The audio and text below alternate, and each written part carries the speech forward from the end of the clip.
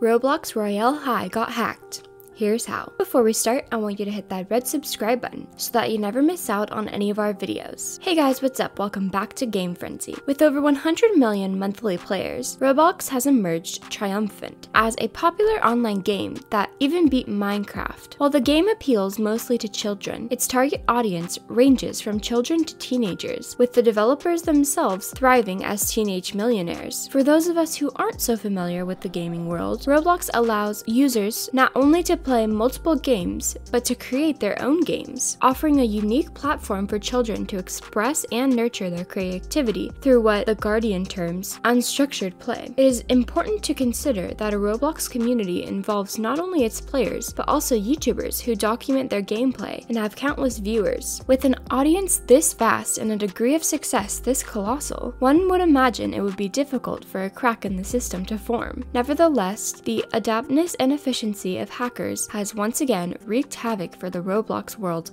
within a particular game, Royale High. Here's everything you need to know.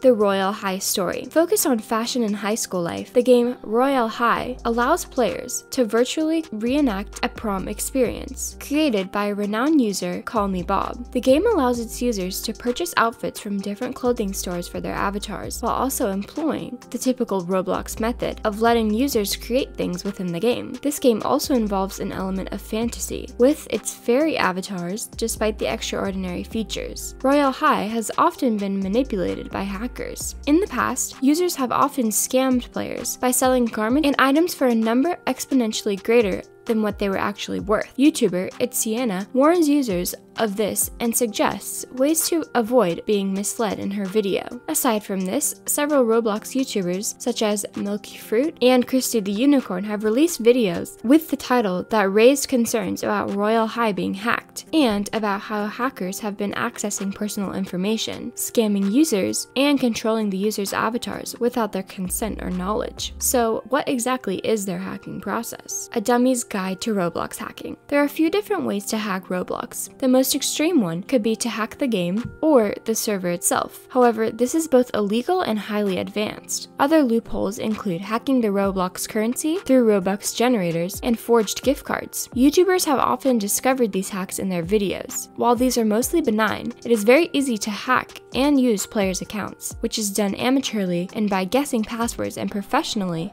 through hacking a user's device or persuading them to click a link that grants hackers access to users' accounts and personal data. Aside from this, hackers can create mods that sometimes betray the rules set by Roblox administration. With an innocent game like Roblox, one might wonder how far hackers would even go, but it turns out Roblox has a very dark history. Roblox's recent hacking history. By July 2018, hackers had discovered a way to create sex mods in sex rooms, showcasing cartoon pornographic content. Despite how admins were quick to ban such mods, this illicit activity left parents gravely perturbed, and there was more to follow. In July 2018 also marked a horrific hacking incident Roblox game designers had to face. Amber Peterson, a parent in North Carolina, discovered that her seven-year-old daughter, daughter Roblox character had been gang raped by hackers who explicitly altered the gameplay with highly malicious intentions. The girl's mother was deeply disturbed at what her daughter had witnessed. Although the admins and moderators tended quickly to the incident by identifying and banning the culprit as well as increasing safeguards, it is certainly an incredible traumatic event for a child or for anyone to go through with possibly catastrophic consequences. Despite these monstrosities, Royale High seems to be safe now. A few days ago, the Roblox administration administration announced that they may be introducing a ban wave in light of the quarantine situation and the heightened chance of hackers or manipulators to act. This ban wave, according to Reddit, aims to protect the innocent and allow for safe, enjoyable gameplay without the intervention of hackers. It is certainly always important to be safe and careful. Install an antivirus and protect your browser. Do not open shady emails or links, and let's hope for the best. This brings us to the end of our video. I hope you enjoyed it. Hit like if you did, and don't forget to subscribe to our channel so that you don't